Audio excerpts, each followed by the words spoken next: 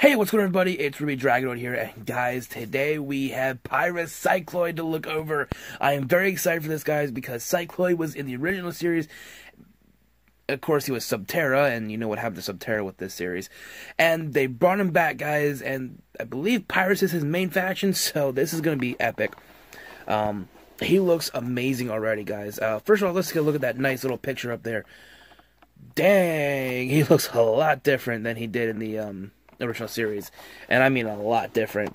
Um, which looks really cool. I actually kind of like this design of Cycloid a little bit more than the other one. Um, I guess it's just because I never really had the Cycloid toy when it first came out, but this is awesome, guys. This is really cool. So on the back here, guys, we got a nice picture of Cycloid right back there. Of course, guys, you get a character card, a gate trainer card, and then two BakuCores. And let's take a look at all the stuff you guys can get in this new wave, including that beautiful Diamond Nillious, which I hope I can find here um, soon. Uh, hopefully when this whole thing is blown over, maybe I'll find him. But who knows how long that's going to take. So alright guys, let's go ahead and get this guy open and just see how awesome he really is. Alright everybody, so here we have Cycloid out of the packaging, and oh man. Boy, does he disappoint. um, toy-wise, not really disappointed at all. Um, I'll go over the toy here in a second. But um, stat-wise, and for the card, um, dang. Only 300 B power and 7 damage, so he'd go pretty well, I guess, with a um, Mac Mock deck. I believe maybe he would go really well with that. Um, with two shield cores, I mean that's not too bad, but um, that 300 is just ill. 300 is just ill.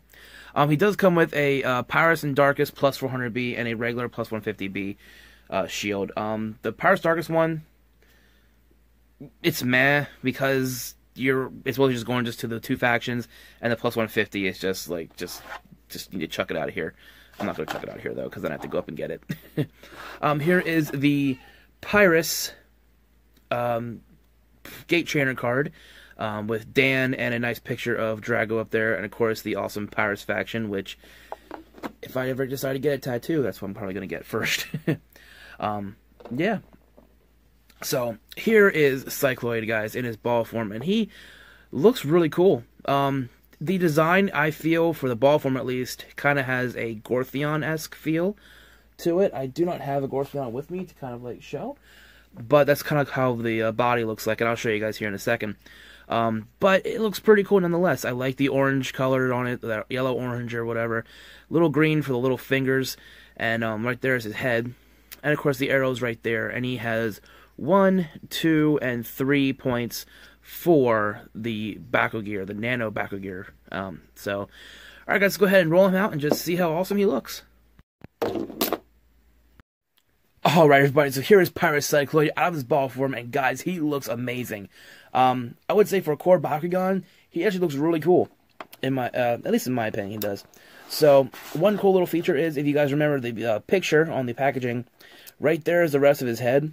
I know this little piece right here is his is his head, so they put the rest of like the design for his head right here on the side, which I think is really cool. Right there is his B power of 300. So as I said, he's a 307, so he would do I think really well in a Mac Mock deck, but we'll see. we'll see if someone can create a Mac Mock deck with uh, Pyrus Cycloid. That'd be really cool.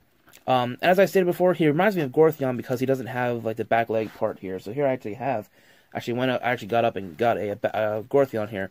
So here, this is why they kind of remind me of Gorthions, because they just have the, uh, the thing right there and everything. So the Gorthion just uh, kind of stands up a little bit. Anyways, guys, I think it's really cool. He has a green eye right there, just as shown in the packaging. Um, and guys, to fold him up, uh, be very careful because these are a little, these are very smooth. These pieces right here are very smooth, so he'll very easily just kind of just like pop out of my hand. So you just fold them up there, close the eye right there, and just fold them up like that. And there you, well, almost. Almost. There we go. Now he's closed. So let's go ahead and see if we can roll him out here, guys. Uh, we're going to try this. Let's see. Like I said, very slippery, so he'll really, really, especially on this kind of surface. I unfortunately don't have a game mat yet. I need to get one. So, three, two, one, Bakugan Brawl. And as usual, as I fail. So we're just going to go ahead and pop them open right here, guys. So here we go. Boom. Alright. So guys, that's going to do it for this video. If you enjoyed it, please go ahead and leave a like down below. Also, don't forget to let me know in the comments if you guys are going to pick him up for either for doing a Magmar deck for just a kind of like a little, little fun deck, or we're just going to pick him up just for the figure. Also, don't forget to subscribe for more epic Bakugan content, and I will see you guys in the next video. Have a good night.